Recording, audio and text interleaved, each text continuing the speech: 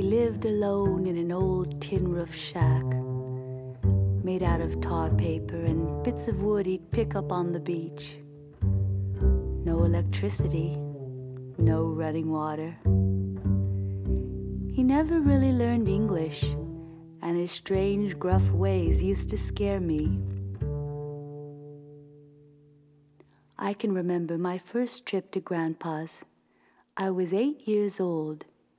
When we were almost there, I saw a sign that said, How long? Then my mother explained that How Long was Grandpa's best friend. They had come here when they were 18 from Canton. Then I saw a dwarf, right out of Snow White. It was Droopy. But no, it was my grandpa. Inside his shack, there were frogs in the sink, ribbiting. I handed a bunch of flowers to Grandpa. Mono juktao, juktao, stupid bamboo heads, Grandpa hollered. My mother turned to my father. We should have brought a plant. I told you we should have brought a plant. You see, Chinese people think cut flowers are an omen of death.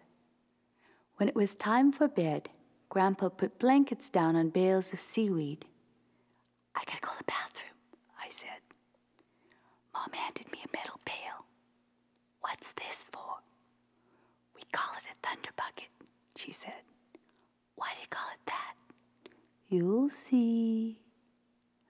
When we left, our car was covered with pigeon droppings, and that's what I remember from my first trip. At 15, I returned to Grandpa's. This time the sign read, How long is a Chinaman? Grandpa had penciled in, Is a Chinaman, to help out the mailman. That summer, I found myself wearing men's galoshes, Grandpa's overalls, and a big coolie hat. I looked real FOB, fresh off the boat.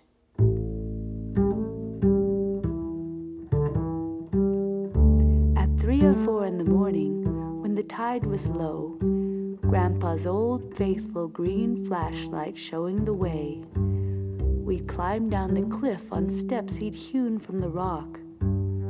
I was slipping and crawling on the wet rocks, trying to keep up with Grandpa's short, stocky legs. All around us were tide pools, pink and green sea anemones orange starfish, baby octopus, and little red crabs. Fidey, Fidey, hurry up! Twist and pull and throw in the basket. We gathered the seaweed. Twist and pull and throw in the basket. Thwomp! Ouch! Grandpa would whop my head with wet seaweed. Watch wave, watch wave, he shouted.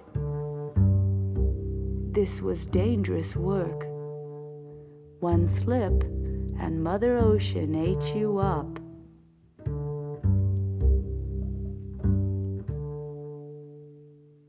At sunset, Grandpa would build a fire in the stove, shoo the frogs out the sink, go down the cliff, and using a rock tied with kite string, he'd attach a hook, no bait or anything, and throw it in the water.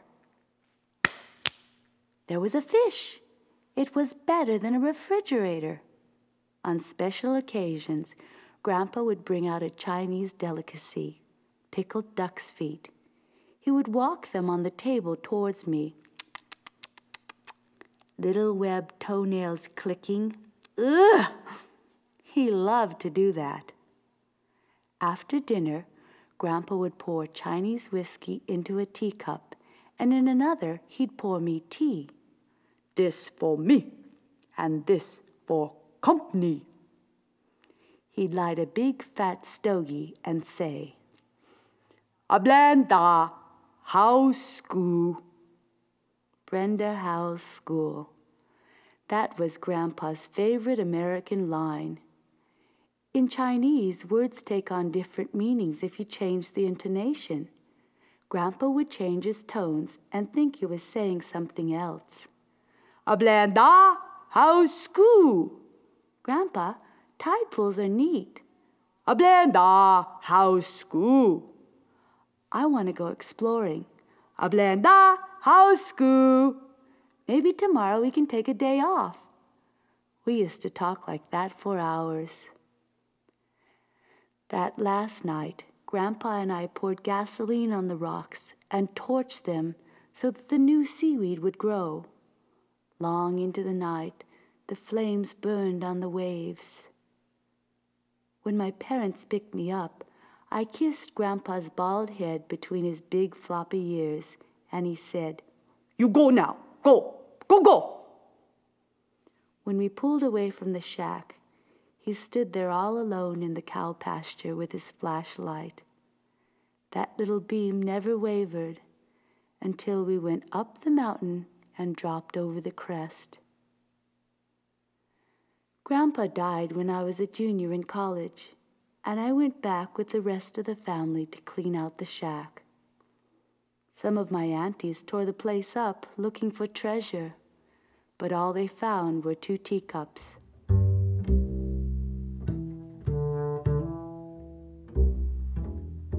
One for Grandpa and one for company.